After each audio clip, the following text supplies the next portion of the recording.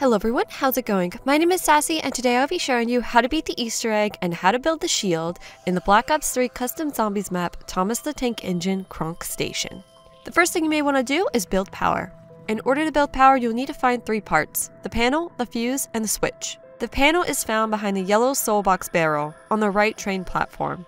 You'll need to fill the barrel with souls in order to remove it and pick up the panel. The fuse is found to the left of Mule Kick, and the switch is found to the left of Banana Colada. Once you have all three parts, you can build power at the back of the right train platform. Now that you've turned on power, you can use the teleporter at spawn. The link for the mainframe is found behind the 6500 point barrier in the car park. This teleporter will bring you to the area with Pack-a-Punch and a gate which needs a keycard to open. To obtain the keycard, you must first shoot the six mini Thomas the Tank engines. They are found on the right platform next to the area that contains power, under the Cronk sign to the right of Jug, next to Speed Cola, through the barrier near Stamina, in the back of this truck in the car park at Pack-a-Punch, and by the telephone booth to the right of Pack-a-Punch. Once you've shot all six Thomases, the train door inside the room with double tap will open up.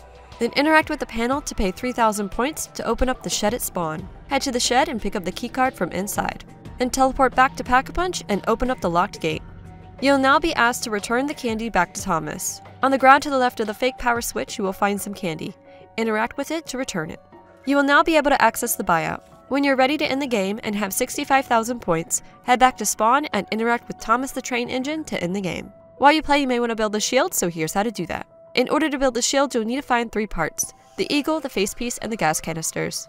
The eagle is found to the left of the bench on the right train platform.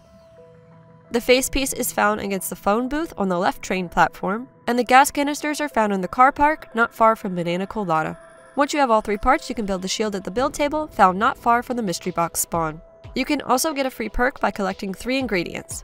One is found in the area with power, one is to the right of Jug, and one is across from the build table.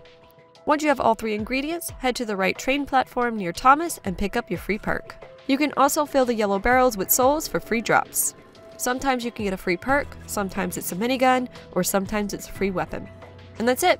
I'll be doing more Easter egg guides in the future, so subscribe if you're interested, leave me a comment if you have any questions, and don't forget to like this video if you found it helpful. And I'll see you guys in the next one. Bye.